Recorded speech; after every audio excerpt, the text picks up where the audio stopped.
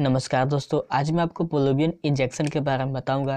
दोस्तों, ये हमारे शरीर पर कहाँ कहाँ असर करती है और इसका क्या साइड इफ़ेक्ट है, मैं इस वीडियो में बताऊँगा। तो मैं डॉक्टर रजनीश सबको, मेरे चैनल में बहुत बहुत स्वागत है। चलिए इस वीडियो को शुरू करते हैं।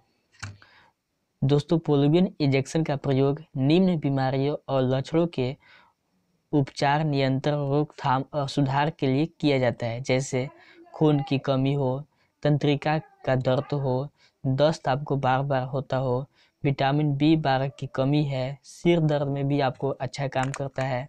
आप इस इंजेक्शन को दे सकते हैं। मानसिक समस्याएँ भी भी आप इंजेक्शन को दे सकते हैं। यदि आपको गठिया हुआ है तो गठिया में भी ये इंजेक्शन को दे सकते हैं।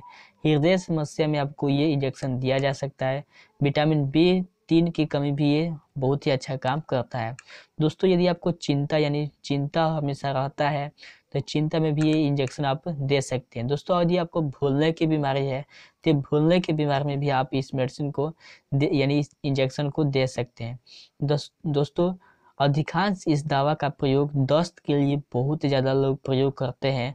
दोस्तों, इस इंजेक्शन से हमेशा स्वस्थ की नियंत्रित करने के लिए भी उपयोग करते हैं। दोस्तों, अब चलते हैं कि इंजेक्शन से आपको कौन कौन से साइड इफ़ेक्ट पड़ सकता है। दोस्तों, हम कब नहीं देंगे इस इंजेक्शन को। दोस्तों, अब चलते हैं कि इंजेक्शन को हम कब नहीं देंगे। दोस्तों, यदि आपको कोई भी दोस्तों, अब मैं आपको बताऊँगा कि इस इंजेक्शन को कब प्रयोग नहीं किया जाता है। दोस्तों, यदि कोई महिला गर्भावस्था में है तो आप इस इंजेक्शन को नहीं देंगे।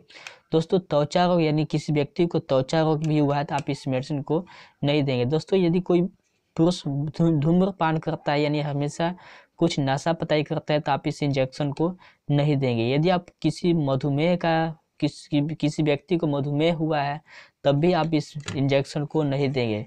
यदि किसी व्यक्ति को लीवर खराब है तभी आप इस मेडिसिन को नहीं देंगे, यानी इस इंजेक्शन को नहीं देंगे। यदि किसी व्यक्ति को पाचन तंत्र यानी अच्छा से नहीं होता है, हमेशा छल्ला होता है, हमेशा जीव में छल्ला रहता है तभी आप इस इंजेक्शन को नहीं देंगे। दोस्तों आपको समझ में आ गया होगा कि कब इस इंजेक्शन को देंगे और कब इंजेक्शन को नहीं दिया जाएगा। दोस्तों, अब बात रह गया कि इस इंजेक्शन को हम कहाँ देंगे, यानी नस में दिया जाएगा कि मांस में दिया जाएगा। दोस्तों, अब मैं इसके बारे में बताऊँगा।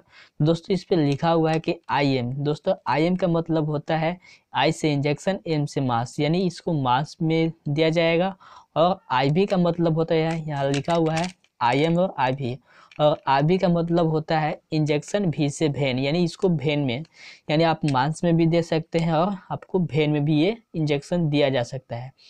आपको यदि मांस में देना है, तब मांस में दे दीजिए। अगर आपको नस में देना है तो नस में भी ये दे सकते हैं, यानी आई भी आई भी में भी मिस होता है भेन यानी भेन में भी दे सकते हैं।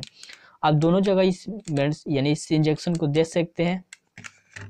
तो दोस्तों, आशा करता हूँ कि आपको समझ में आ गया होगा। यदि आपको समझ में आ गया होगा तो नीचे के लाइक का बटन में तो लाइक कर दीजिएगा और चाहे इस वीडियो को और चैनल को सब्सक्राइब करना नहीं भूलिएगा। यदि आपको कोई भी बीमारी हो तो आप मुझे कमेंट कीजिएगा, मैं उसका आंसर दे दूँगा। दोस्तों, मैं हमेशा होम्योपैथिक की वीडियो बनाता हूँ। ये इंजेक्शन था तो मैं इस वीडियो को बना दिया हूँ।